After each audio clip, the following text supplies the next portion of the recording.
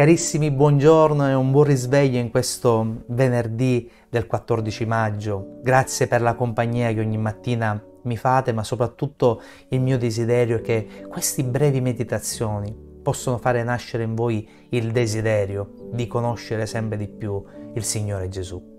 La meditazione di stamattina è tratta dal Vangelo di Giovanni al capitolo 7, versetto 38 e si intitola Vita che si diffonde. Leggiamo. Chi crede in me, come ha detto la scrittura, fiumi d'acqua viva sgorgeranno dal suo seno. Siamo dinanzi a una promessa straordinaria che ci ha fatto il nostro Signore. E se noi pensiamo per un attimo alle acque di un fiume, ci rendiamo conto di come esse raggiungono le regioni lontane, regioni che non hanno più nulla a che vedere con quelle della sorgente. E allora se noi abbiamo ricevuto la sua pienezza, dice Gesù, per quanto possa essere limitata la misura visibile della nostra vita, da noi sgorgeranno quei fiumi d'acqua viva che giungeranno come benedizioni fino all'estremità della terra. Non siamo noi ad aver creato il fiume o ad aver suscitato il suo corso. Questa è opera di Dio. Che voi crediate, dice il Signore Gesù. È raro che Dio permetta ad un'anima di vedere la benedizione che essa comporta intorno a sé. Se ritorniamo a pensare per un attimo al fiume, abbiamo un'illustrazione meravigliosa. Il fiume scorre continuamente e quando il fiume scorre supera tutte le barriere che vi sono attorno.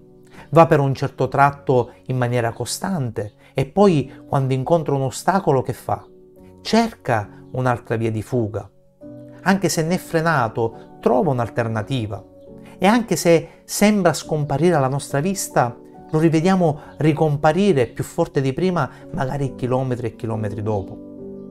Possiamo vedere che Dio si serve della vita di alcuni, ma tante volte quando pensiamo alla nostra vita, se sorge qualche ostacolo, ci sembra forse che non serviamo più a niente. E allora è in quel momento che devi rivolgerti alla vera sorgente e Dio ti farà aggirare l'ostacolo, oppure addirittura lo toglierà completamente di mezzo. Il fiume dello Spirito di Dio, devi sapere, supera tutti gli ostacoli. Non fissare mai lo sguardo sull'impedimento, non fissare mai lo sguardo sugli ostacoli, perché il fiume dello Spirito Santo supererà tutti gli ostacoli se ti manterrai direttamente unito alla sorgente, vedrai cose straordinarie. E allora ti invito, non permettere mai a nulla di intromettersi fra te e Cristo. Si tratti di emozioni, si tratti di esperienze, niente e nessuno ti deve separare dall'unica sorgente grande e sovrana che è il Signore Gesù. Pensiamo a questi fiumi che sono così benefici per gli altri e che vanno così lontano.